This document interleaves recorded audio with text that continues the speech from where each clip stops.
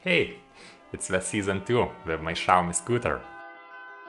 And today I will show you how I remove the speed limit from my scooter simply by flashing the firmware with a phone. And you will find the full guide and all links in the video description below. So the stock firmware is limited to a legal 25 uh, km per hour speed limit. And this is more than plenty for daily riding, except if I'm riding uphill it's usually half the speed. And maybe with the new firmware I could get some extra power. So I have downloaded the scooter flashing app, connected it via Bluetooth, and now I can check uh, firmware version. Currently it is running BMS 115, which is the stock firmware. And the BMS 107 is the same stock firmware, except it has a legal speed limit removed.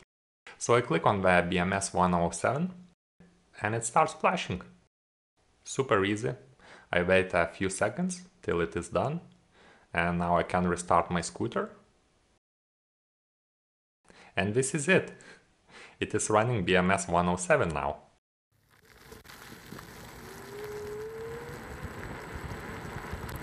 And the scooter feels a little bit faster.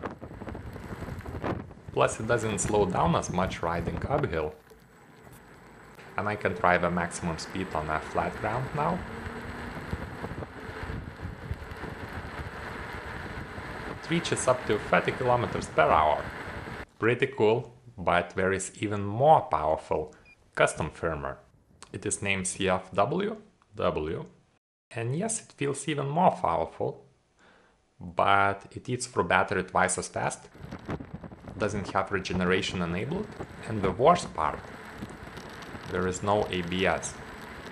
Brakes feel like crap, they do nothing and suddenly throws me and all the scooter forward. With a custom firmware it is very tricky to ride the scooter and even dangerous.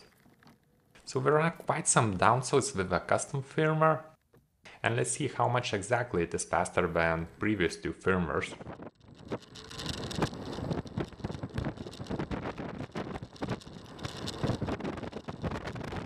Turns out not that much, especially compared to the unlocked 107 version, which I will be using from now on. It's the same as the stock, just as easy to ride, but without a speed limit, and it consumes battery a bit faster, but I rarely go on a 30 km trips, even 20, at once. Plus I'm still able to switch to an eco mode anytime, so I guess this is my favorite uh, firmware you can try all free for yourself. And there is a full guide and download links in the video description below. Leave a comment which one is your favorite. And thanks for watching, thumbs up if you liked the video, and see you in the next one.